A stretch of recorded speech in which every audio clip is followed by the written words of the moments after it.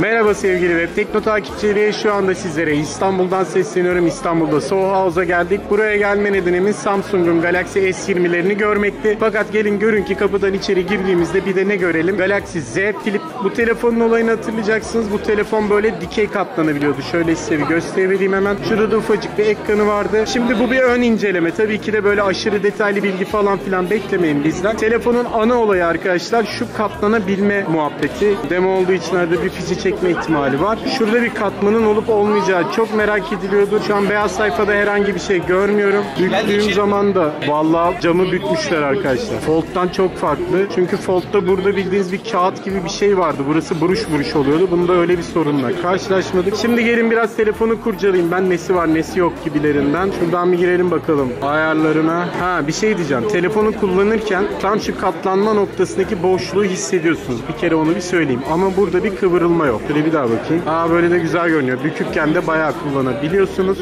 Şöyle açı vereyim. Bir şunun kamerasına bakalım. Bu arka kamerası. Şimdi bir kaldıracağım, çekeceğim. Şimdi arkadaşımızın fotoğrafını çektik. O da kendisini artık sabaha karşı web tekno videosunda izler. Şimdi arkadaşlar kamera ortaya gelmiş. Bu tasarımda o yüzden hani en büyük değişiklik bu. Bir de tabii ki de şu katlanabilme olayı. Kamera olayından uzaklaşmadan şunun bir de ön kamerasına bakayım. Ön kameradan da canlı odak çekeyim. Kontrol ediyorum. Şu an bir işlem yaptı. Yani kamera açısından çok aşırı kötü değil. Bulunduğumuz ortam inanılmaz ışıklı bir ortam değil. Bir de şurada bir bozulma oluştu. Belki elim titrediği için de olabilir. Ondan da emin değilim. Fakat kamera açısından inanılmaz bir cihaz gibi görünmedi şimdilik. Ama şunu söyleyebilirim. İnovasyon anlamında şu bükülme olayı 10 numara olmuş. Telefon kapandığında gayet kompakt bir şekle ürünü veriyor. Şöyle enteresan bir şey gösterdiler bize. Şimdi telefonun açma katma butonuna ilk kere tıkladığım zaman şu gördüğünüz küçücük alanda kamera açılıyor. Çekmek için de bir kere basayım bakayım. Tabi siz oradan bayağı enteresan şeyler gördünüz de ben sonucu merak ediyorum. Ne yapalım eğilip büküldüğümüz için biraz böyle görünüyor. Cihazda teknik özellik anlamında şöyle bir durum var arkadaşlar belirtmem gereken Snapdragon 855 var şu an kendisinde. Normalde Türkiye'deki cihazlarda Exynos işlemciyi görüyorduk fakat bu sefer Samsung Türkiye pazarına da Snapdragon 855 ile girmeye karar vermiş. Ön kamerayı açmışken hemen şurada hatta ön kameraya bakarak konuşayım. f2.4 diyafram değerinde ve 10 megapiksel ön kameramız arkadaşlar. Arka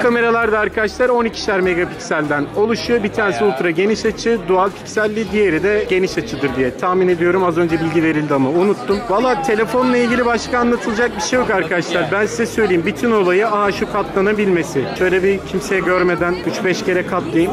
E arkadaşlar artık söyleyecek başka bir şey kalmadı. Böyle büküp de eğdi. Günün birinde elimize geçerse burada söylemeyeyim de siz anladınız şimdi onu. Belki bir bizim testler var ya şu güzel testler. Onlardan uygulayabiliriz diyorum. Ve kapatıyorum arkadaşlar. Sizler de videomuzu beğendiyseniz hemen aşağıda bulunan beğen butonuna basabilirsiniz. Başka bir web tekno videosunda görüşmek üzere. Hoşçakalın.